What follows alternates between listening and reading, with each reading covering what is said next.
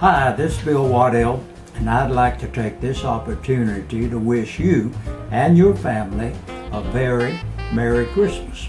None of that happy holiday stuff, but Merry Christmas.